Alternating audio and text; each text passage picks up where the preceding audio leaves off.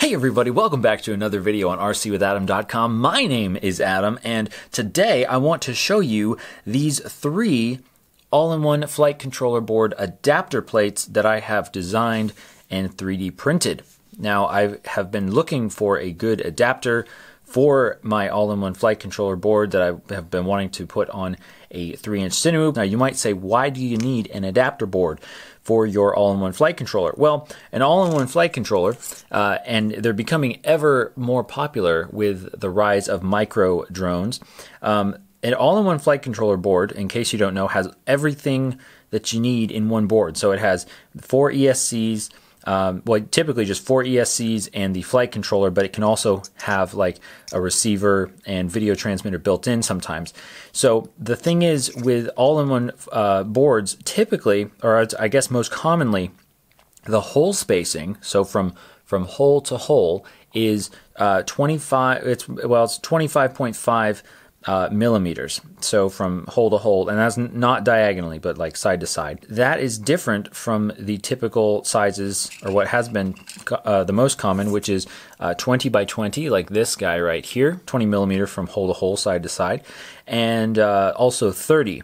Uh, 30 by 30, so uh, this would be like this larger, and I don't have one of those right here, but I do have a, a plate. So this is this would be like the bottom plate of a quadcopter, and so you have the 30 by 30 hole spacing here and the 20 by 20. If you want to put a an all-in-one flight controller board on uh, a quadcopter that does not have holes for that particular board, well, you can drill your own holes, but that uh, that could be kind of problematic and kind of messy, and maybe you don't want to screw up your frame or something. Uh, so what you can do is put an adapter plate in there. And without further ado, this is what I came up with. I have two right here that have pegs. I printed these in clear PLA. This is a 3D Fuel uh, Workday clear uh, PLA, but this is, uh, so they're kind of hard to see, but you can see there we have four pegs and that may not work super well on your printer depending on what kind of printer you have and if your filament has uh, excess moisture. So that's a little bit tricky to print that actually, but um, it works out pretty well. Uh, and I'll be doing more testing on this, but essentially the pegs are there so that in a flight controller like this, you can just uh, slide the little rubber grommet uh, vibration dampers onto the pegs and it will hold in place. And the pegs are sized so that there's a good amount of friction. And so I really don't think that's going to come off unless, I mean, maybe in a very serious crash. But I'm, I'm still doing more testing, so we'll see about that. But they are quite strong, really. Um, overall, the pegs are quite strong, so I like that quite a bit. And you can see you have a little, little bit of gap there. The downside is you don't have a way of like threading a nut on here. Maybe I'll change the design in the future so that you can put a little nut on there. I guess if you really wanted to just lock it in place, you could just kind of melt the end of the of the peg here and then just kind of like squish it down. So that would be one option. And on the back here, we have uh, mounting options for 30 by 30, that's the largest, and then uh, 20 by 20 next in, in line there, and then 16 by 16 I haven't messed with 16 by 16 mounting, but I know some people um, have that, so I wanted to put the option in there.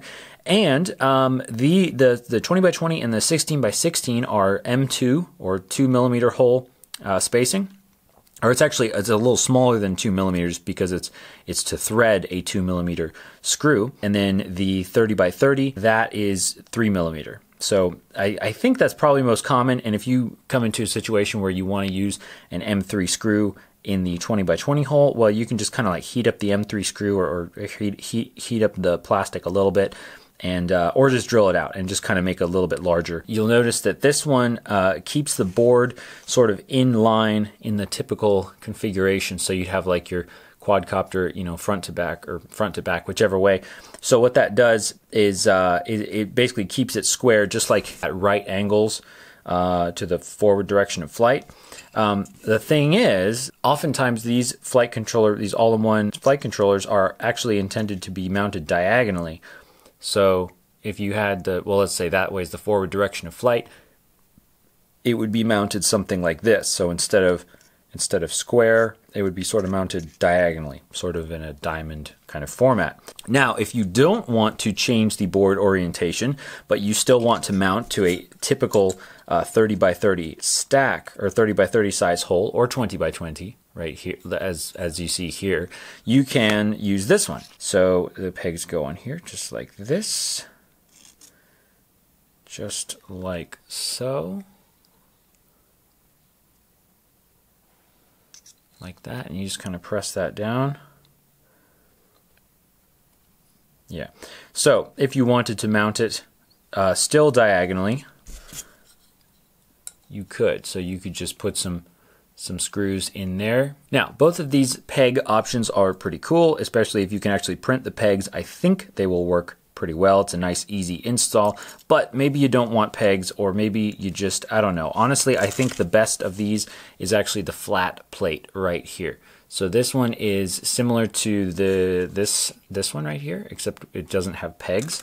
So this is just a flat plate. So this one right here allows you to mount your board diagonal fashion compared to our normal hole spacing. Or you could also mount it like this in order to keep that, that kind of standard squared up format.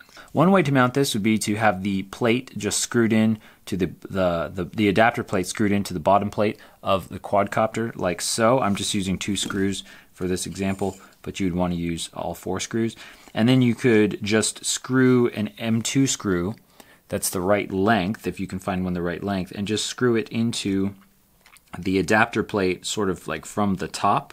These are actually a little bit too long, but you get the idea. So you can uh, screw them into the adapter plate and mount your uh, all-in-one board like this.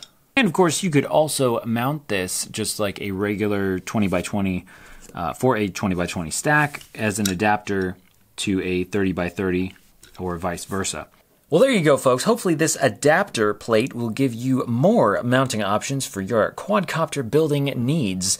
Of course, you can download this for yourself for free to 3D print if you have a 3D printer, and you can find those uh, links to GrabCAD and Thingiverse down in the description of this video. Thanks for watching, everybody. I appreciate you. I appreciate your time, and I will see you again very soon.